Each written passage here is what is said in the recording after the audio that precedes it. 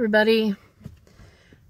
Sorry about the swath of sunlight there cutting me across the face.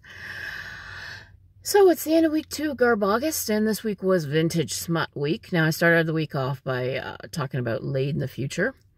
Now before I go any further, because this is Vintage Smut Week, I'm going to say this is going to not be safe for work.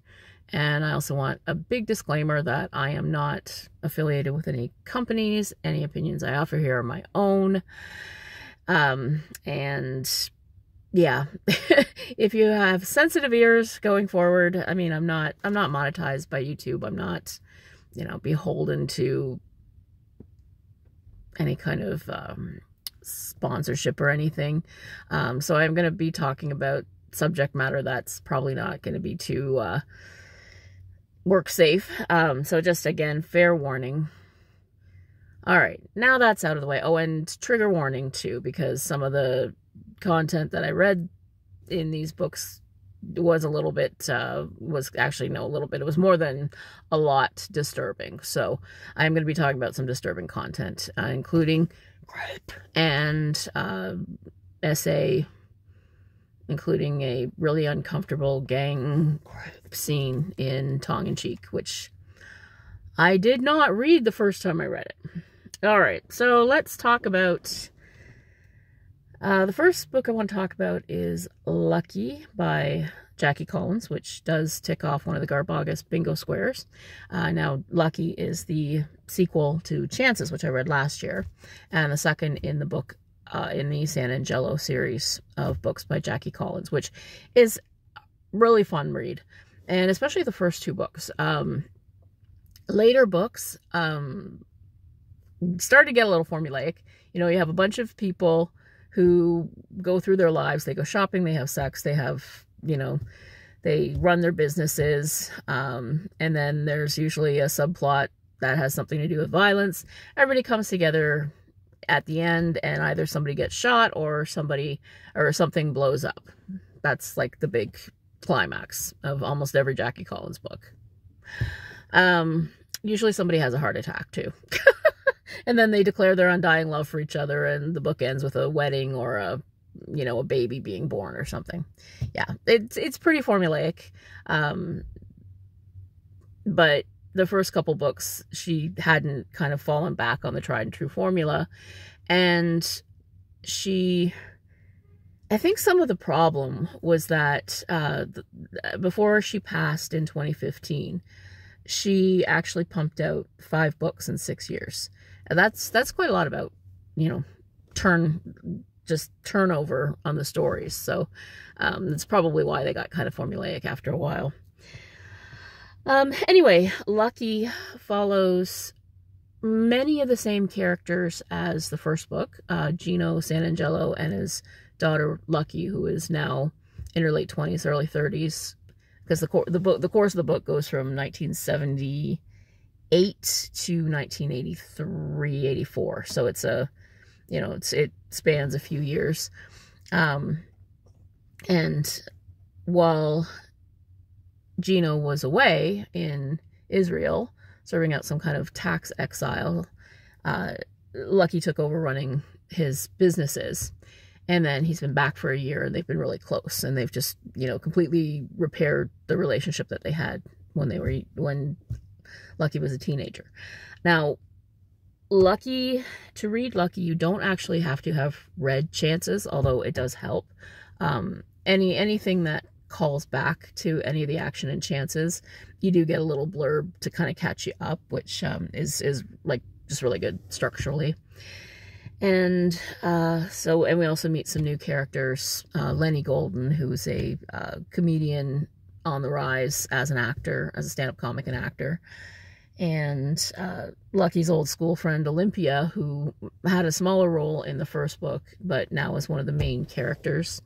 And Olympia's dad and then all the various wives and mistresses of Gino and Dimitri and Lucky's one night stands and I mean it's just uh it is a great book because the, the pacing of it is fantastic. Uh, it's a 744 pages. It's a long book, but it does not feel that long because it's so quick. And there's just so much going on. Um, highly recommend it. Really fun, trashy, exciting read. Great characters, and um, and you know any streaming service if you're listening. Do a redo. Uh, the miniseries was terrible. Please make a series out of the Santangelos. I guarantee you. I mean, there are readers who would absolutely love to see it happen. I'm sure it'll be big and lavish and expensive and just one of those fantastic series that uh, will hopefully make money for the streaming service. But uh, I can dream. In my head canon, there's a series out there.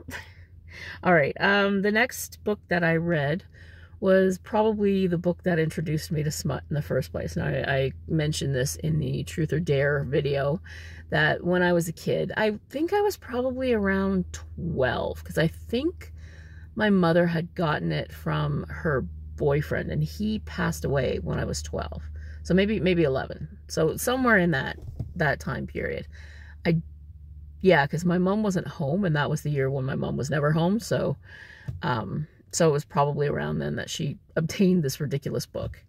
And I remember um just reading through it and and finding all this really really intense sex scenes. And it was like um now I one point I think a couple of times I've pointed out that my mother didn't care what we read.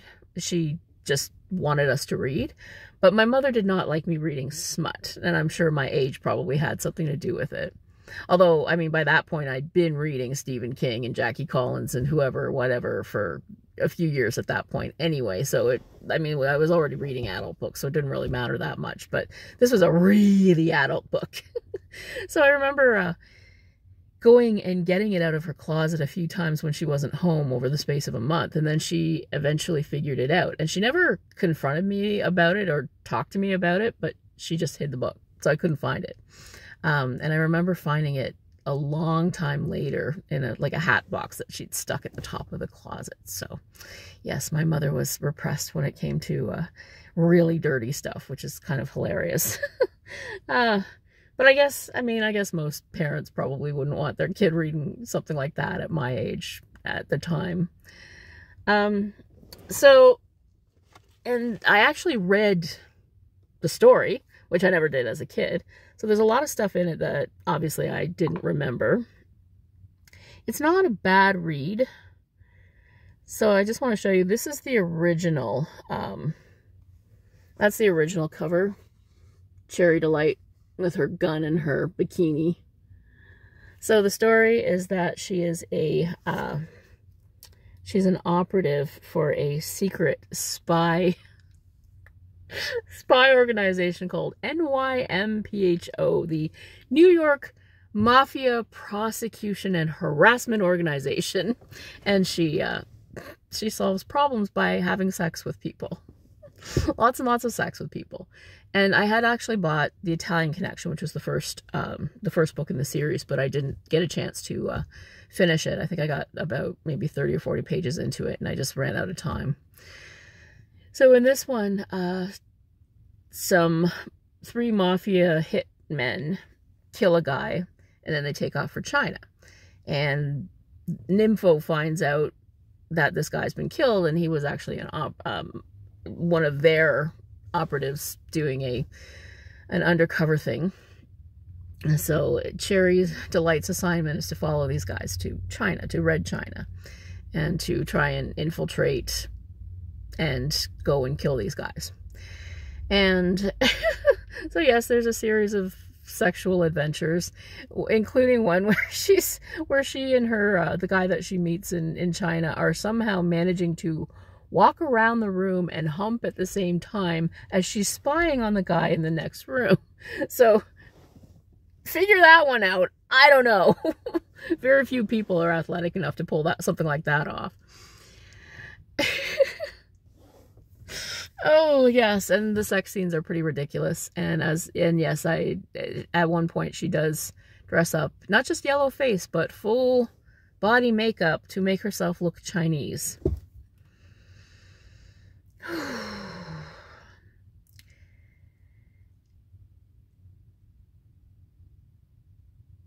the depictions of the Asian characters um for the time in which they're written, they aren't actually that bad, but they do speak in that awful broken swapping out L's for R's terrible Asian speak that uh, plays on stereotypes and is, I'm sure, quite offensive. Uh, it's it's a little uncomfortable to read. Um, there's a lot of really good descriptions, and that's one thing I did notice about this book.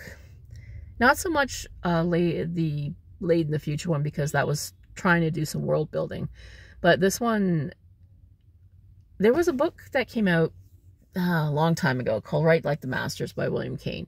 And what he does is he goes chapter by chapter and he talks about, you know, what each author, each author, sorry, each chapter is devoted to an author and each author is unique in some way. And he looks at what makes that author unique.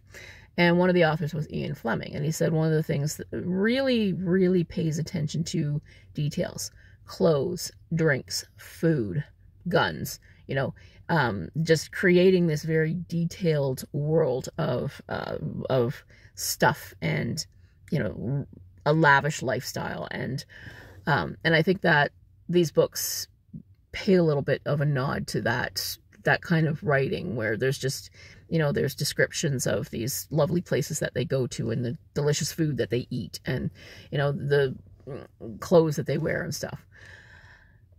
Um, although i mean they don't spend too much time dwelling on it because the book itself is only like 135 pages and they got to get through the story as well. But i thought that was interesting. So Cherry goes, and then there's a subplot in between killing the mob guys where her host tells her there's this treasure that he wants to go and find that belongs to the Tongs. Um, another thing that was interesting, that is interesting about Gardner Francis Fox, I read that like he was a very intelligent man and he was a very curious man. And he kept a filing cabinet full of newspaper clippings and you know, interesting facts from around the world and stories. Um, and he drew from his research so that he could create these these places that he wanted to write about. Um, and so he always paid a mind to giving interesting tidbits. And apparently he did this in his comic books too. He, he wanted people to learn something. And what I learned, because I did look it up, there actually was a Tong Wars. Um, the Tongs were Chinese immigrants in the late 1800s in the U.S. And the, the word Tong itself means something like um, place or like, like a gathering, like a club. Um, and then the Tongs took their names from that. And in the late, from going, going from about 1897 to about 1921, there was a war for turf and resources and so on. I'm not sure if it starts with somebody cleaving somebody's head the way he talks about it in the book, but it was a real period in history, um, which I think is bears further reading. So, um, but this book uh, had lots of sex, obviously, an exotic location, some very uncomfortable racial depictions, um, and a pretty violent last chapter. I was uh, surprised. I didn't realize it was quite that violent. Including Cherry Delight getting gang raped in the in after her sex organs being absolutely brutalized, which was pretty horrific. And here's where the other book that I read this week what I mean, it was really uncomfortable and exploitive anyway. It was another Gardner Francis Fox book. This guy's a treasure trove of absolute trash, by the way. he should be a Garbingo card for next year. Um, yeah, Garbingo card on all on his own because he's published, he published something like 150 novels under various pseudonyms. And he also, uh, he's something like 1,500 comic books. So he was a very, very prolific writer. So, the other book that I read was called The Stonehenge Slaves.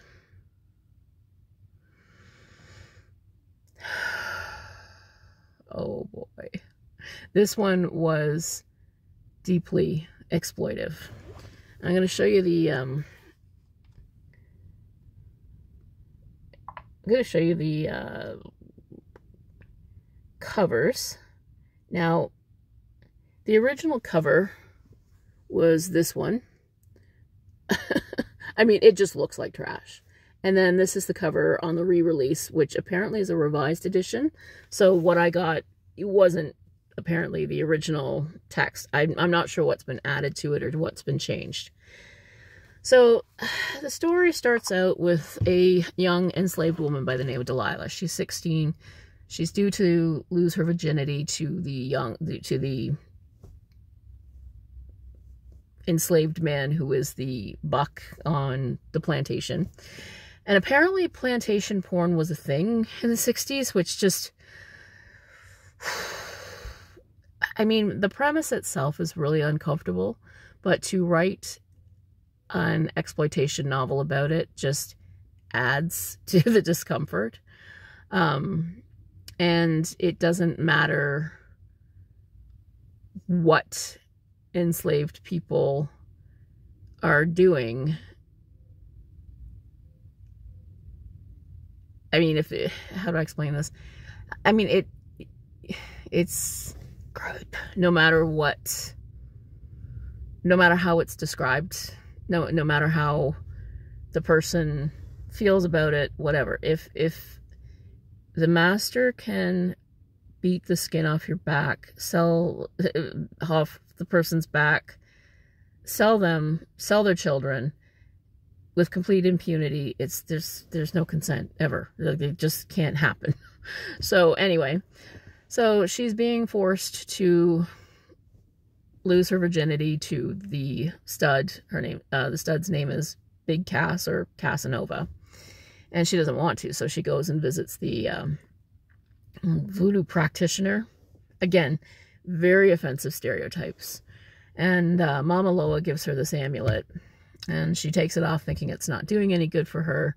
But at the last minute, before she has to put on a show for uh, the mistress's horrible friends, the owner, uh, well, the son of the owner of the plantation comes home. Okay, so I suppose I should explain that the plantation is owned by Randolph and Melissa Stone, who inherited it from their parents. And while Randolph's been away doing whatever, you know, young aristocrats did in the early 1800s, Melissa's been running the place. And she is a very she's an awful person.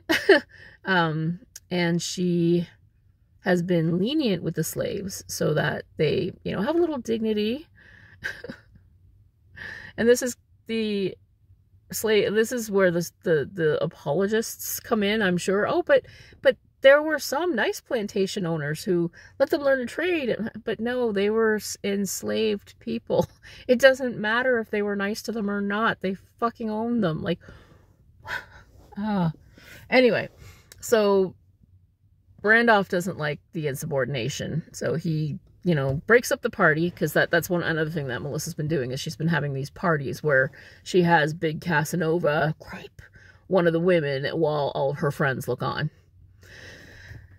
Like I said, nasty people. And in the book's favor, one point in the book's favor is that every single white character is absolutely despicable. There is no redeeming quality here whatsoever. Like they're just awful. So he takes in Delilah as his body servant, which means she bathes him and he rapes her. Um, and she she feels good about it, but it's still not consensual because he can beat the skin off her back and sell her and her babies. So just no. And Melissa is angry at losing the power that she had. So she takes in, so she starts teasing and manipulating one of the enslaved men, this young guy named Ned, who has a girlfriend who's another one of the enslaved women. Her name's Virgie, and she's she's a, a house worker. And and she, uh, Melissa starts this weird thing with Ned, and it goes on and on. It's pretty horrific. well, it's not horrific. I mean, it's erotica. Like, if these were consenting adults, it would be okay, but it's just creepy and weird. So as the story progresses, um, Randolph get is he takes out like he's just a cruel, nasty man, and he calls it disciplining, you know, his property or whatever it is he calls it.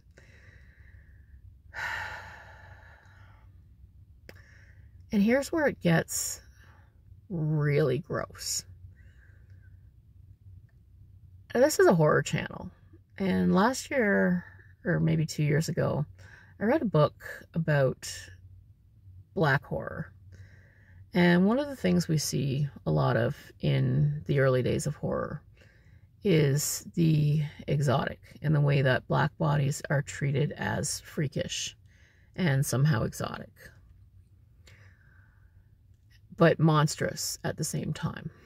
Um, the uh, a lot of horror really deep really reaches into what colonization was based on that these people are somehow less than their white colonizing oppressors um and i'm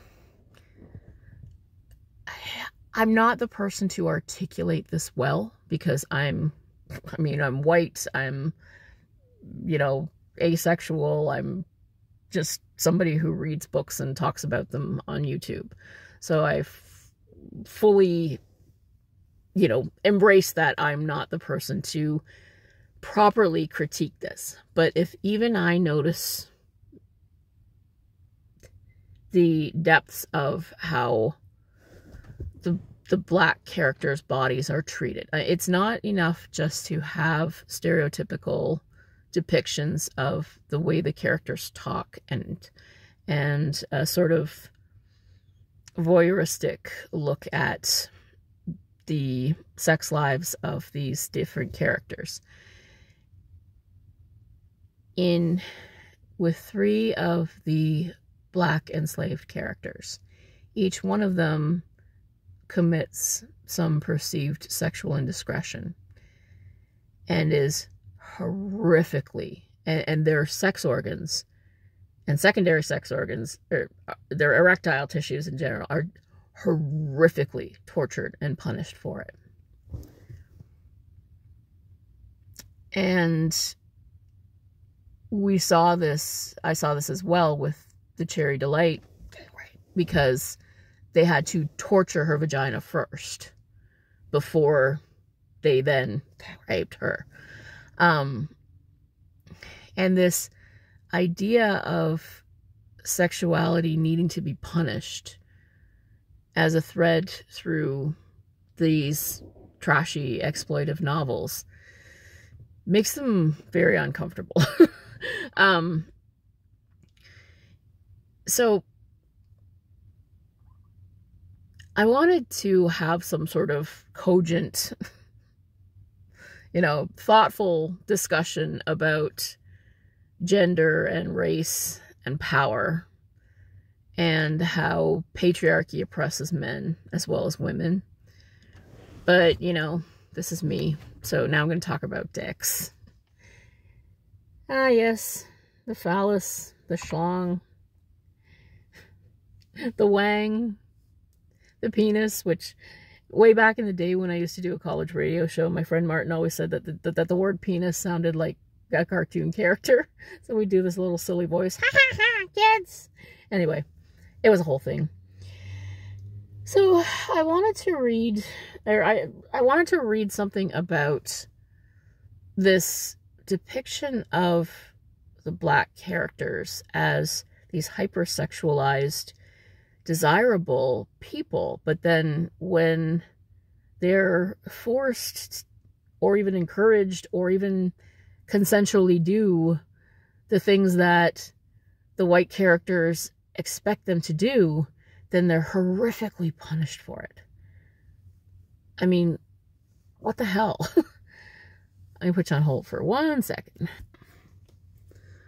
All right, so the other book that I looked at this week as sort of an antidote to the trash is Hung by Scott Poulson Bryant is the author's name.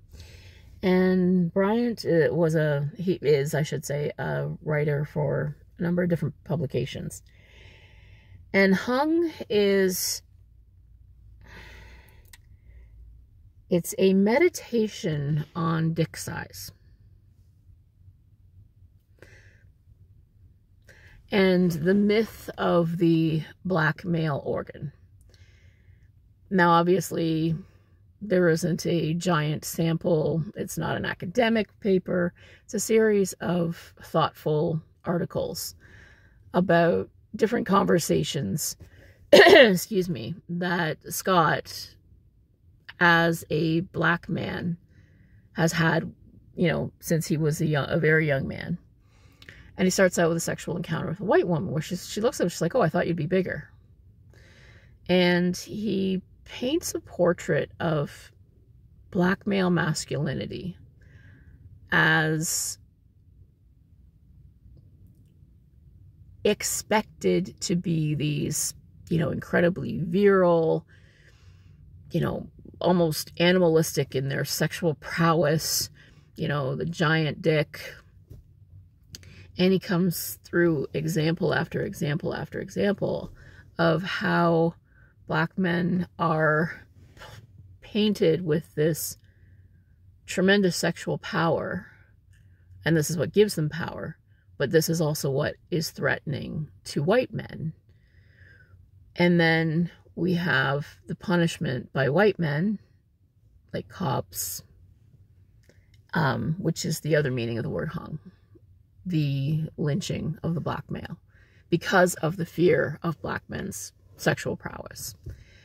And it's books like um, like the Stonehenge Slaves, where you have exploitation, you have black characters um, written as these like incredibly irresistibly sexual creatures, but they're forced into it by their white slave owners who then punish them for it. And hang on, I'm going to find the passage I want to read.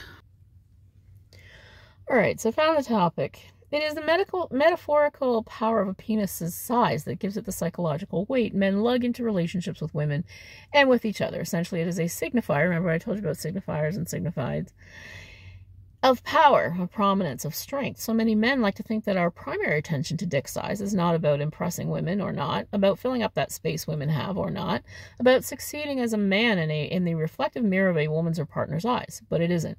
It's a measuring stick of self-worth, of capabilities, of fallibilities, of winning and losing. Listen to the language we use. When is a guy described as the swinging dick?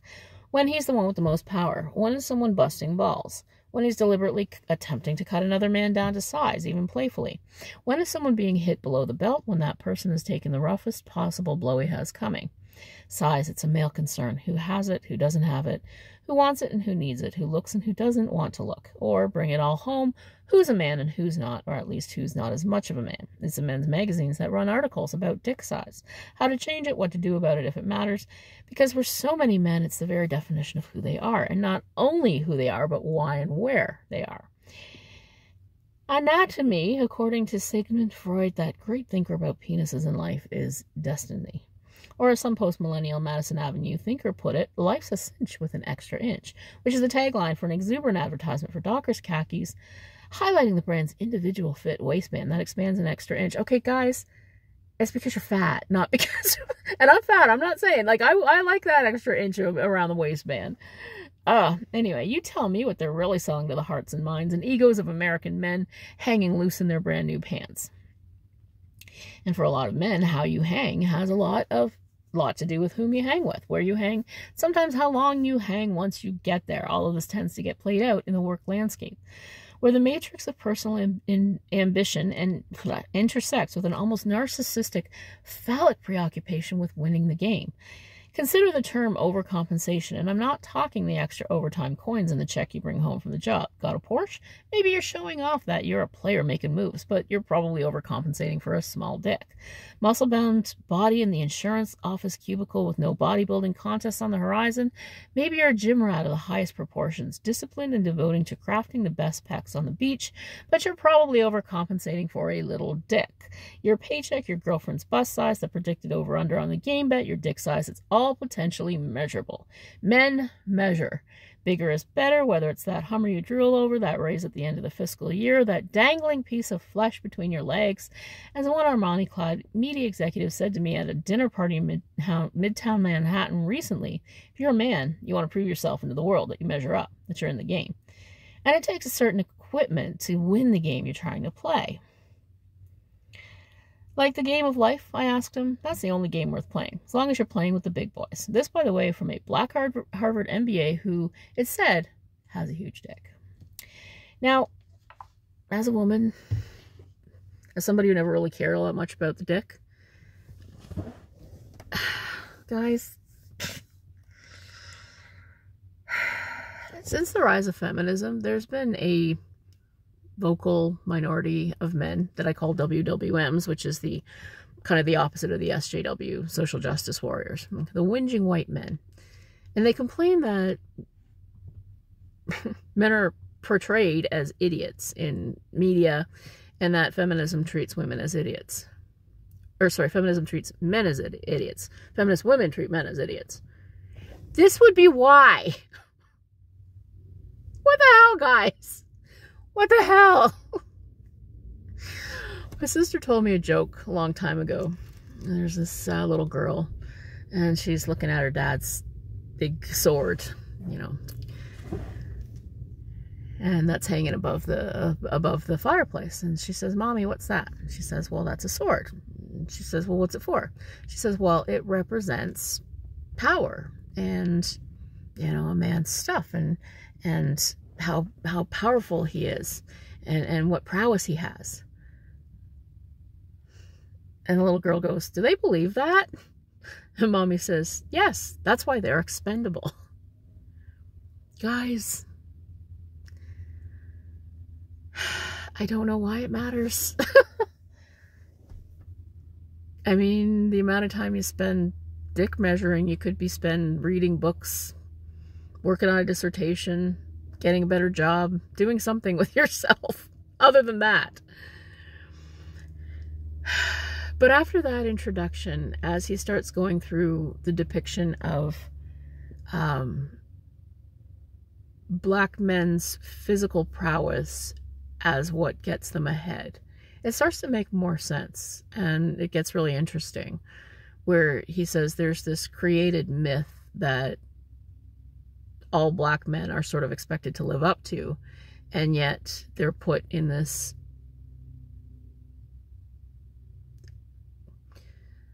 state, this, this place of fear and violence from the authoritative state.